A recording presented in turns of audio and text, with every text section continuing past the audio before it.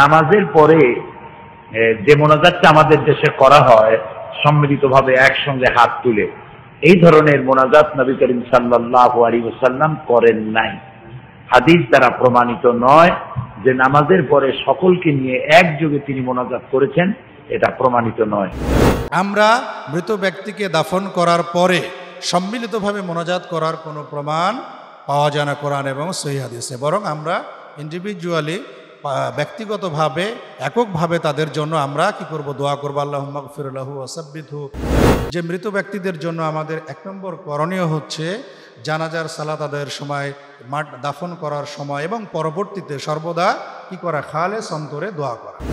আল্লাহ রসুল সাল্লাম যখন কোনো ব্যক্তিকে দাফন করতেন, দাফন করে শেষ করার পরে বলতেন ইস্তাক ফিরুল আখিকুম। তোমরা তোমাদের ভাইয়ের জন্য ইস্তেকফার করো ক্ষমা প্রার্থনা করো। যদি মৃত ব্যক্তি মারা যায় তার পক্ষ থেকে তার সন্তান বা অন্য কেউ হজ করে তাহলে এই হজের সব কি হবে? মৃত ব্যক্তি পাবে এটি তার জন্য উপকার বয়ে নিয়ে আসবে। আত্মাহারিক টিভি অহির আলোই উদ্ভাসিত জীবনের জন্য। আমরা পরস্পর একজন ভাই মুসলিম ভাই আমার এখানে নাই সে হয়তো অন্য জায়গায় আছে। তার অগোচরে আমি দোয়া করলে সেই দোয়াটা কি হবে? আল্লাহর কাছে গ্রহণযোগ্য হবে। সামনাসামনি তো দোয়া করব, কিন্তু আমার কাছে নাই। তাকে আমি এখন দেখছি না। তার অগোচর আছে, সে মৃত্যুবরণ করুক, অথবা অন্য কোথায় অবস্থান করুক, এমতো অবস্থায় যদি আমি মুসলিম ভাইয়ের জন্য দোয়া করি, তাহলে কি হবে? আমার দোয়াটা আল্লাহ ইনশাল্লাহ কি করবেন? কবুল করবেন বলে আল্লাহ রসুল সাল্লাম তার হাদিসে উল্লেখ করেছেন। সুতরাং দোয়ার ক্ষেত্রে আমাদের মৃত ব্যক্তিদের জন্য কোনো প্রকার কার্পণ্য করা যাবে না। বরং খালেস অন্তরে তাদের জন্য দোয়া করতে হবে। আল্লাহ রসুল সাল্লাম যখন কোনো ব্যক্তিকে দাফন করতেন, দাফন করে শেষ করার পরে বলতেন ইস্তাক ফিরুল আখিকুম তোমরা তোমাদের ভাইয়ের জন্য ইস্তেকফার করো, ক্ষমা প্রার্থনা করো। ওয়া সালুল্লাহ লাহু তসবিদ। এবং সে যেন ফেরেস্তাদের প্রশ্নোত্তরে দৃঢ় থাকে সেই জন্য আল্লাহর কাছে কি চাও দোয়া করো। ফাইন্নাহুল আন উস আল, কারণ তাকে এখনই প্রশ্ন করা হবে, জিজ্ঞাসাবাদ করা হবে। মনকার নাকির এসে কি করবে? তাদেরকে জিজ্ঞাসাবাদ করবে।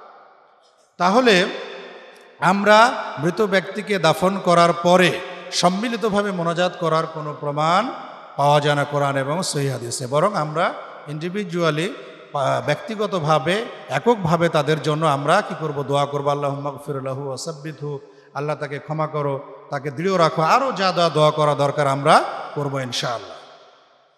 আরেকটি হাদিসে এসেছে ইবনু মাজা হাদিস নম্বর তিনশো ছেষট্টি সহিউল জামে এক হাজার ছয়শো সতেরো। ইন্না রজুলা তুরফাউ দরাজাত হুফিল জান্না। একজন ব্যক্তির জান্নাতে মর্যাদার স্তর বাড়িয়ে দেওয়া হবে। সে বলবে, আন্না হাদা, কীভাবে আমার মর্যাদার স্তর এত বেড়ে যাচ্ছে? আমি তো এমন কিছু করিনি আমল যে আমার মর্যাদা এত বেড়ে যাবে। কারণটা কি? তখন তাকে বলা হবে বিস্তিগফারি ওয়ালাদিকা লাকা।